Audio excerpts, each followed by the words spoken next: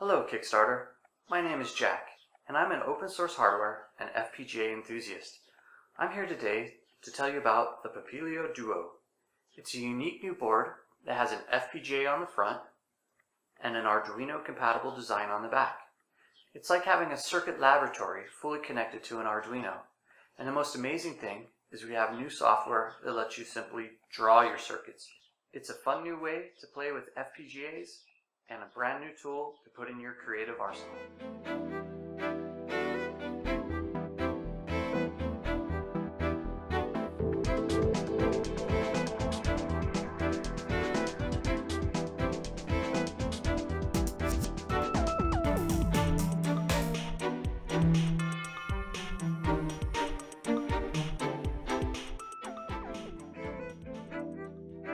On the top of the board, we have a full FPGA circuit laboratory built on a Spartan 6 FPGA with easy-to-use SRAM and a dual-channel USB chip.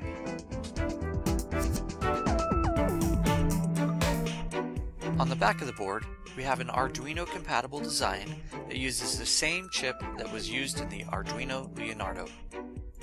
Our easy-to-use Design Lab software allows you to simply draw circuits, everything from simple counter circuits to something more complicated like a system-on-chip design using an Arduino compatible soft processor and adding cool peripherals like a Commodore 64 SID audio chip, all connected to a Wishbone bus, all drag and drop, easy to add and build your own custom system.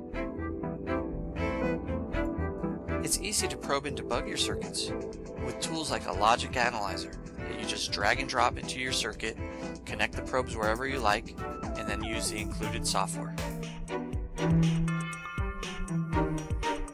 We're even working on what we call virtual instruments. You simply drag and drop a virtual instrument into your circuit and then you can interact with it on your computer screen with virtual LEDs, virtual switches, and even Nixie tubes and 7-segment displays. The Papilio Duo is extremely extensible.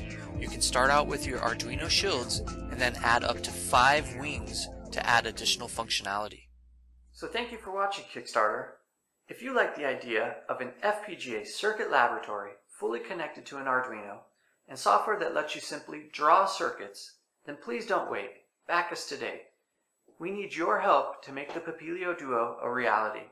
With your support, we'll have the resources necessary to do the initial batch of circuit boards and put them in your hands.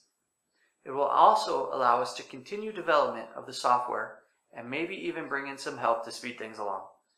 So once again, thank you for your time, and please remember, the hardest part of any project like this is getting the word out. So anything you can do to help us spread the word is very greatly appreciated.